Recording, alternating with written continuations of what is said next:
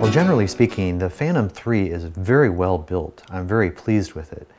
But the controller, one spot here on the controller is not so well. It, it moves around. Now, the controller for the Inspire 1 isn't like that. It, it's rock solid. So it's disappointing.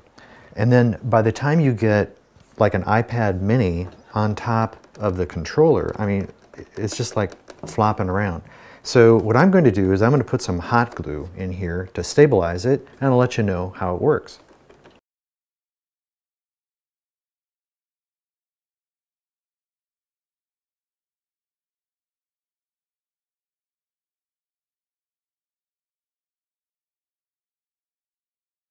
In another video, I recommended using hot glue to stabilize the bracket holding the mobile device.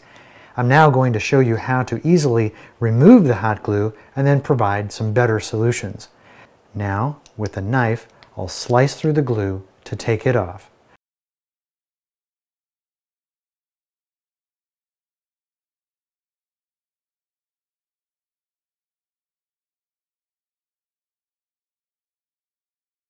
A reviewer of my video recommended using something firm under the bracket to clamp it down. So I took a paint stir stick and cut it into a couple of small pieces.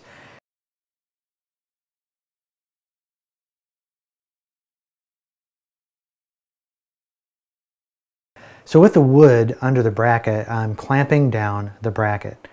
So without having to invest much time, energy, or money, this option seems to work pretty well.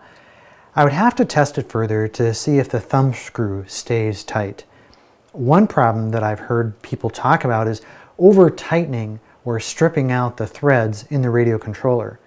Well, a much better solution, a permanent solution, is to purchase the bracket designed for the Inspire 1 transmitter. It costs $30 and B&H Photo offers free shipping. It is uh, spare part number 45, also called a mobile device holder for the Inspire 1 transmitter. If I'd known of this option earlier for $30, I would not have messed with hot glue or paint sticks. I would just want the problem solved. As you can see, the problem of the wobbly bracket is now solved. Thanks for watching.